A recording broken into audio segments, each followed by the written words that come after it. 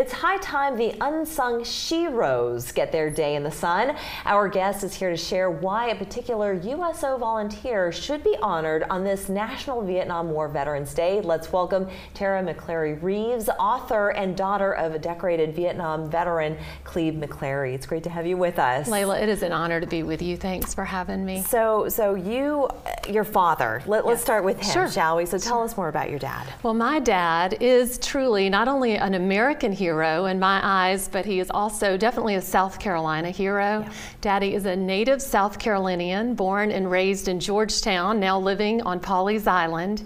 And he was 26 years old when he was coaching at the University of South Carolina and saw somebody burn the American flag. Mm. And Leyla, it outraged him. Wow. Three days later, he went into the head coach's office and said, I am volunteering for Vietnam. Mm-hmm. And he did. He That's went incredible. over and served. He was a recon Marine. They fought behind enemy lines. Uh, he led 19 patrols, and it was on his last patrol that they were hit. And Dad took 13 men. He wanted to bring 13 back.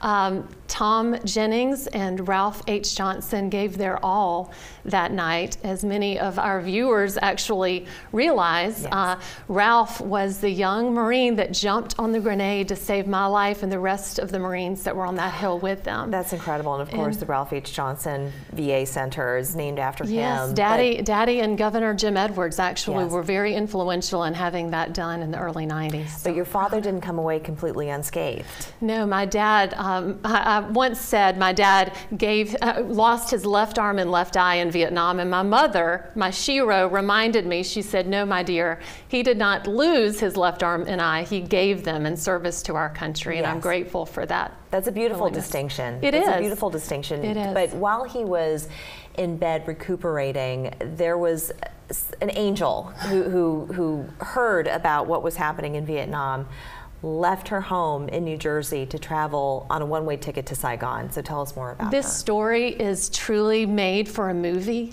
Uh, Lucy Caldwell was the widow of Coach Charlie Caldwell. He is in the Hall of Fame and he was a head football coach in Princeton at Princeton University. And they were living there on College Street. And after he had died, Lucy was 56 years old and she would turn on the news at night and she would see the anger mm-hmm. that was lashed against these men that were fighting over in Vietnam. And it outraged her so much, Leyla. She bought a one way ticket to Saigon, not knowing a soul over there. I'm a firm believer in God's sovereignty, and she providentially was directed to the USO.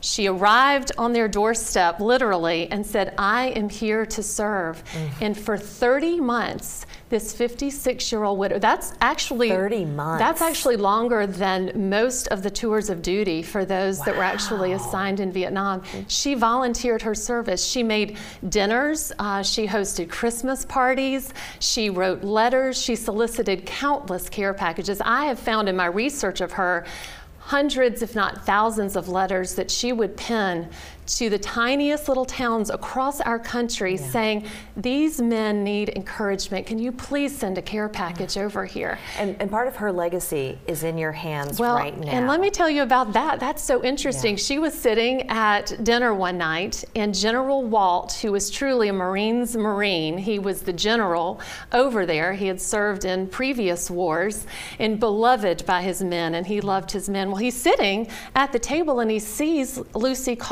Caldwell badge. Well, back then, if you were married, you had your husband's name, and it said Mrs. Charles Caldwell. Mm-hmm. And General Walt looked at her and said, Huh, I tell you what, the greatest football coach I've ever known was by that name. And he said, You probably wouldn't have known of Charles Caldwell. Not only did she know Let him. me tell you what her response was. It was beautiful. She had a very quick wit and she said, Well, I only know that he liked three lumps of sugar in his coffee in the morning. That's and great. General Walt realized that this woman that was of means and very accomplished socially sure. had deserted all of those bridge games, all of those social parties, yeah. had stripped herself of those things, and her identity became in service. And so he wanted her, because her heart was so sincere, he put her in the MASH units. So when men like my father uh, would come from the jungle Yes. and they were wounded, the field hospital where Lucy was was the first stop for them before they were transported to